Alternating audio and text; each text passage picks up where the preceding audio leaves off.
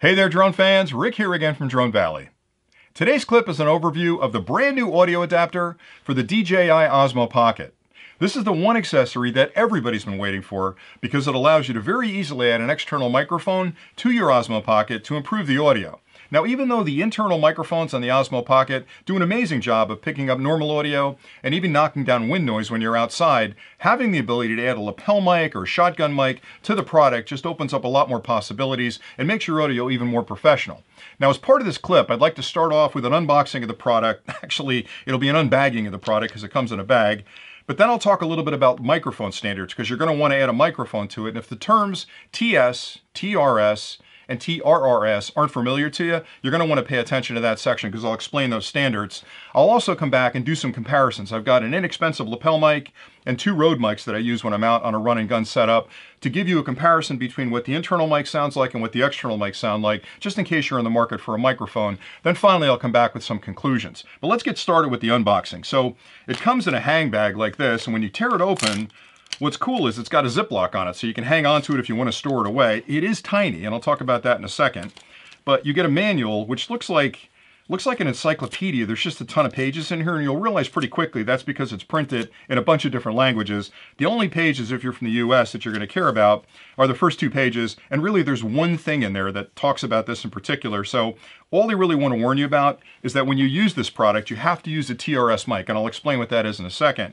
But the product itself is incredibly small and streamlined. It's a lot smaller than a lot of other external audio adapters. If you guys have used the Hero products and you've used their external audio adapter, the thing is massive. I'll show you that in the conclusion portion, but it's really, really tiny. And I always like to give you sort of a feel for how small it is. And I was thinking a lot about it.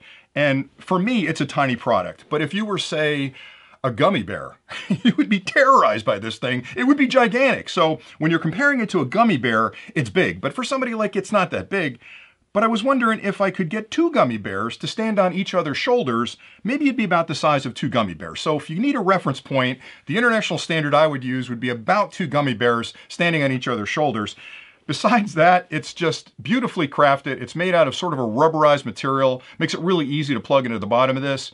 And it couldn't be simpler. There's two connections. There's a USB-C on this end and a three and a half millimeter jack on this end for the microphone. So this end gets plugged into the Osmo, this end plug in the microphone and you're off and running. Now between these two connections, a lot of magic happens. There's a lot of conversion going on for the audio and amplitude levels and all the rest of that stuff because there is no adjustments on the Osmo that I know of where I can adjust the audio levels. So when you plug this thing in, the Osmo's got to look at whatever microphone you've plugged in, listen to the audio a little bit, and then make some internal adjustments through the software to give you an adequate level of audio in there. So that's going to be kind of cool. And you'll actually see that when I do the testing. When I first plug it in, it takes a second or two for it to adjust to the microphone. It got plugged in, then the audio gets much better. Now, normally you wouldn't plug it in live. You would have it plugged in, turn it on, and then the audio would be ready to go when you brought it up. But in this case, I'm testing it without the mic plugged in, then I'm going to plug a mic in, so it does take a second for it to settle. And that's pretty much it for the unboxing. Again, to use it, it couldn't be simpler.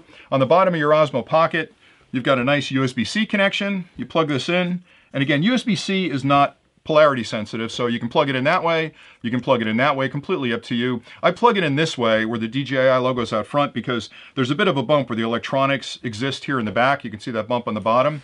And I, I kind of keep that back because it protects it. If you flip it around, now you've got that bulge out the front. It's just another thing to get snagged on if you're moving around with the Osmo Pocket. So I put the bulge to the back, and then you've got the three and a half millimeter on the bottom, and it's really straightforward. Now I've tested this again with a lavalier mic and two different Rode mics. I've also tested it with a wireless setup and it works just great. As long as you're providing standard audio through a three and a half millimeter jack, you're gonna be fine. But it is critical the type of connection you're gonna plug in there. And again, the only one it supports is a TRS, and I'll explain again what that is in a minute. But that's pretty much it for the unboxing and basic explanation. It's one of those drop dead simple accessories, which I love, where it just works. You just plug it in, it does what it says it's gonna do, and you're off and running. There's not a lot of training or configuration settings you've got to deal with. Just plug it in and start recording audio. So stay tuned and I'll explain the audio standards next, then we'll go into some testing and I'll come back with some conclusions.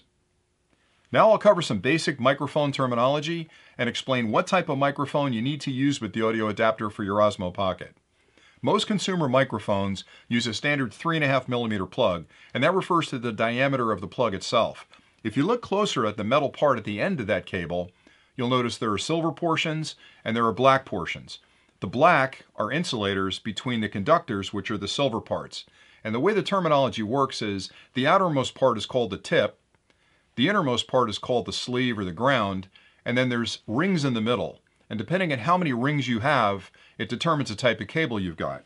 So the simplest type of cable is a TS, where it's got a tip and it's got a sleeve. If you've got a ring in the middle, it's a tip ring sleeve.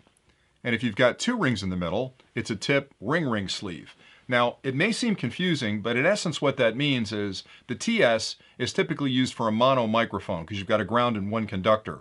The TRS provides for a stereo microphone where you have a ground, a left, and a right. And the TRRS provides for both a stereo microphone and typically a headphone, and that's used typically on computers. It's not used for audio equipment. Now, the audio adapter for the Osmo Pocket will only support the TRS.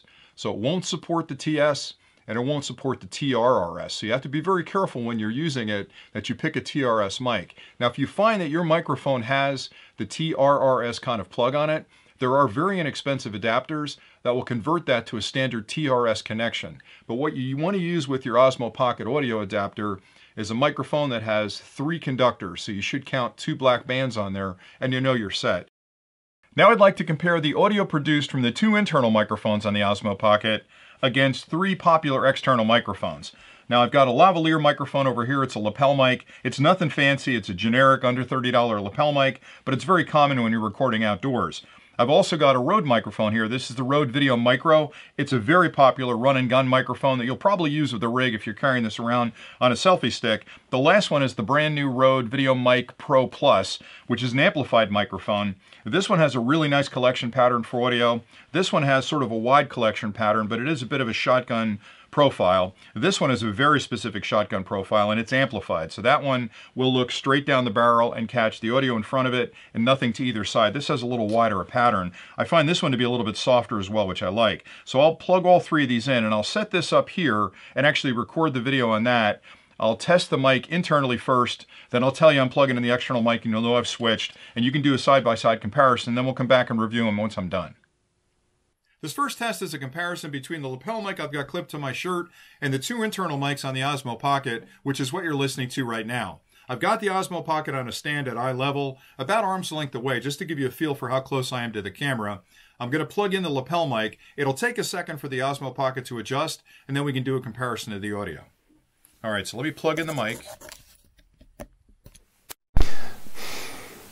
Okay, now I'm on the lapel mic, and hopefully the audio is adjusted. I tend to use this mic an awful lot when I'm outdoors because it picks up audio real well and knocks down a lot of the background noise. And I find that the audio adapter takes a second to make an adjustment when you plug in a new mic. Normally you would boot up the Osmo Pocket with the mic already connected, you wouldn't have to wait. But anyway, that's a test of what the audio sounds like, and I'll come back at the end and do some comparisons because I haven't heard it yet. This next test is a comparison between the Rode Video Micro and the internal mics on the Osmo Pocket, which again you're listening to right now. I'll plug the mic in in a second, but before I do, I have to say that the Rode Video Micro is my go-to setup for any kind of run and gun shoot I'm doing. I love using it with my Hero products, and I'm really looking forward to using it with the Osmo Pocket as well, so I hope this goes well. All right, so let me connect it up and see how it sounds. Okay, I'm plugged in. It's probably going to take a second for it to adjust its levels. We should be set now. So the audio you're hearing now is coming through the Rode Video Micro and I'm really hoping this works out well because that mic has a really warm sound. It tends to be a little softer, and I like that a lot when I'm doing interviews or I'm out in the field recording. And the windscreen's a benefit too if it's a really windy day. So this is a comparison between the two. And uh, again, I can't tell what it sounds like until I get upstairs and do a comparison, but I'll absolutely give you some opinions at the end of this. This final comparison is between the Rode Video Mic Pro Plus and the internal mics on the Osmo Pocket, which you're hearing me through now. I use this mic an awful lot in the studio, but because it's a shotgun mic, when I use it outdoors, it tends to pick up anything in its path this direction. So I don't use it that often outdoors, but it's a very popular mic for studio recordings and interviews, and a better quality mic than the other two I tested. So it'll be interesting to see how it sounds when I connect it up to the Osmo Pocket. All right, so let's connect it up and see what we get.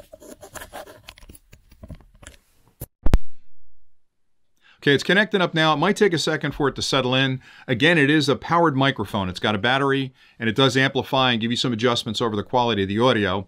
But I like it a lot when I'm doing interviews because it tends to pick up all the voices directly in front of it, which is great when you're interviewing somebody.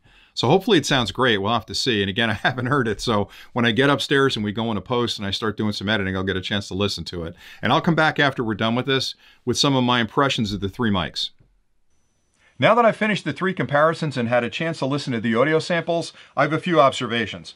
The first one was that the Osmo Pocket took a couple of seconds to adjust its audio gains for the different microphones that I plugged in. And I think that's just a result of it using the internal microphones and having the gain set for those. And here I come out of the dark at night, plug a microphone in, and it's got to sort of reset that gain to accommodate those external microphones. Not a big deal because normally you're going to have the audio adapter plugged in, the microphones plugged in when you boot it up. So I think that process will be a lot quicker. The second observation, which might be more of a challenge, is that I don't know of any way for me to have control over the audio levels in the Osmo Pocket. That may be something they change in future versions of the firmware. It'd be great if I could bump that up or dial it back based on the mic I'm using, but for now, this guy decides what that audio level should be. And you could see there was a bit of a challenge with the lav mic where it was overmodulated, and that was because I had it too close to my chin. But overmodulation and clipping is a problem because I can't fix that in post. That's information in the audio that's not there, and I can't put it back in. But that's easy to fix because I can slide the mic down my shirt. So I'll find the perfect spot where the lav mic should sit on my shirt to not overmodulate the audio in the Osmo Pocket, and that's fixed. Um, the middle mic, the Video Micro, was my favorite of all three, and you notice the level on that was lower. The audio quality was better, it was a much richer sound, and it sounded wonderful, but I have to bump that up in post, and that's not a big deal. I can definitely crank the amplitude up in post to compensate for that. The third one, the Video Mic Pro Plus, was the best of the three. And that shouldn't have been a surprise because it's the most expensive mic. It's an amplified mic and it's got some limiting in there to not overmodulate. It's going to take charge of, you know, overmodulating. And between the two, they have a great relationship to sort of keep that audio on track. It did sound a little higher to me. It sounded like it favored the high end a little bit more. And that's perfect if you're doing interviews because you want to catch every nuance of a word that somebody's saying. This one for me is great for general conversations. And this is still my go-to mic. I just have to make sure that I adjust it to the right spot on my shirt so I get the audio I'm looking for. But I guess in general, I was really pleased with the results of all three microphones, and each of these, to me, and again, it's my ear, sounded better than the internal mics on here, and that's what you'd expect. And I think that little uh, audio adapter is definitely worth the money to help you through that. In this last section, I'll offer some final thoughts and give you my overall impression of the new audio adapter for the DJI Osmo Pocket. Now I've had the product for about a week and I've tested it on a wide variety of microphones, everything from really simple lav mics all the way up through amplified shotgun mics. I actually used it the other day with a wireless mic setup and the thing just works. It's one of those rare accessories that doesn't require any fiddling or configuration. You plug it in, you plug a mic into it, and you're off and recording audio. Now, if you own the Osmo Pocket, this is definitely one of the accessories you're going to want to add to your kit because sooner or later, you're going to want to plug an external mic in, whether you're out vlogging for the day for your YouTube channel and you need really crisp audio, or, or you're going to a birthday party for Uncle Frank and you want to make sure you hear the kids sing happy birthday, this guy's going to do it for you. Now, it's $39, which does seem expensive, but it's not really that expensive when you compare it to other products. So I mentioned the GoPro product a little bit ago. This is the audio adapter for the GoPro product. Look at the size of that thing. It's about a third the size of a Hero product, and it's gigantic. It's got a big floppy cable on the end. Like, there's nothing elegant about this. It's almost three times the price, by the way, of this DJI product. So when you consider these two, first of all, this is a third generation product. This is a first generation product. And I know I get beat up about being a fanboy for DJI, but man, that's some sweet engineering right there. And they packed all the functionality of this into something that small. Both of them have USB-C connections and three and a half millimeters on the other end. And all the magic that happens in here happens in a package that small. So when you consider that, this guy, I have to be careful here, there's a bit of a protest going on with the, with the gummy bears, but this guy is a good buy. And it's something, again, that you're going to use again and again whether you use a lapel mic or some other type of external mic, it just does the job. So for me, it's a no-brainer. They're available now on the DJI website. We've been waiting for quite a while for these to be released. They finally released them, um, and I would recommend you add it to your kit. Now, I've got links below where you can actually find this on the DJI website. There's a ton of companies that are selling it.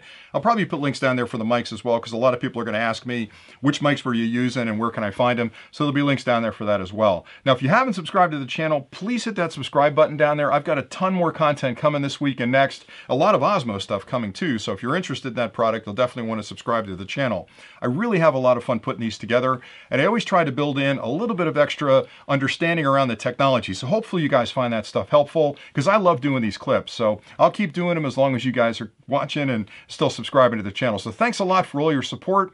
And until next time, happy flying.